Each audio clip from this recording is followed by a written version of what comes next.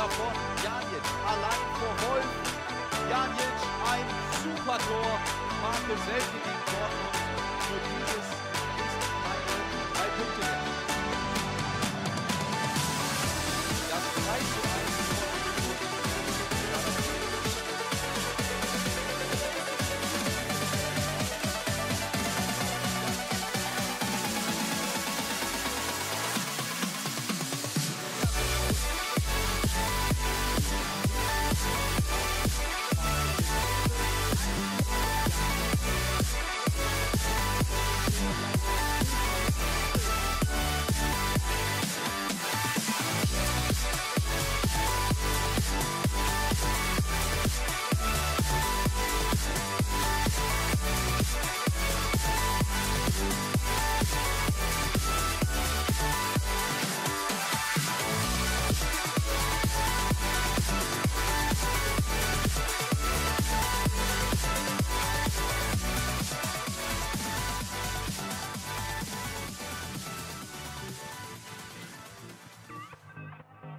Janic, Geistesblitz, der hohe Pass.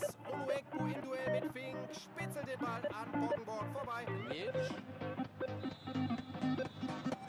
Und der lässt Marinovic. Kein dann im Ruhestand.